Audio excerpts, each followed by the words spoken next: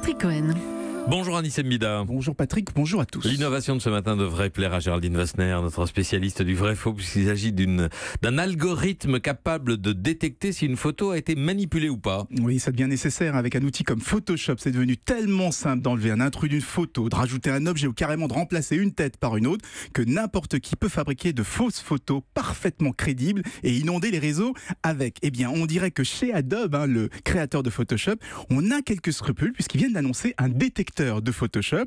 Donc c'est un peu le pyromane qui se transforme en pompier puisqu'ils ont mis au point une sorte de mouchard capable de nous, nous dire attention, on a enlevé ou on a modifié quelque chose à cet endroit précis ou encore non, non, non, cet objet, il n'existait pas, il a été collé. Comment ils font pour savoir que l'image a été manipulée? Bah Déjà avec Photoshop, sont les champions de la manipulation d'images, hein, donc ils connaissent parfaitement toutes les petites traces que laisse leur logiciel sur les photos.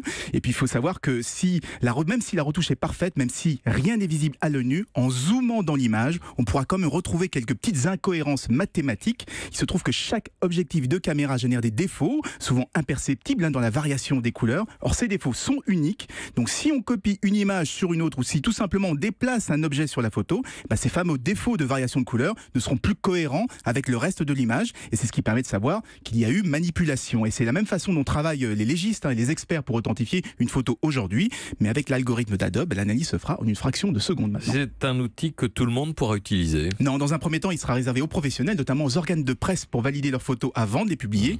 Mais j'ai envie de dire, les images, hein, c'est presque dépassé. Maintenant, ce sont carrément les vidéos qu'on manipule. Et là aussi, on va avoir besoin d'outils, euh, besoin d'algorithmes Géraldine Vosner pour nous aider à oh. séparer le vrai du faux. Eh ben, elle va arriver dans un instant. Europe. Europe 1.